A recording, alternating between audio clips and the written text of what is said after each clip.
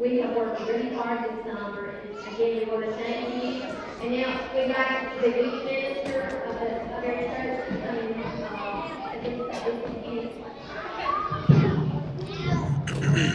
Thank you all so much. Before we say anything else, can we give a round of applause to our incredible leaders? Thank you, Thank you all so much for all that you do. My name is Andrew Irwin. I'm one of the pastors on staff here, but much more importantly, I am the proud uncle of Gavin. Give it up, Gavin. Yeah.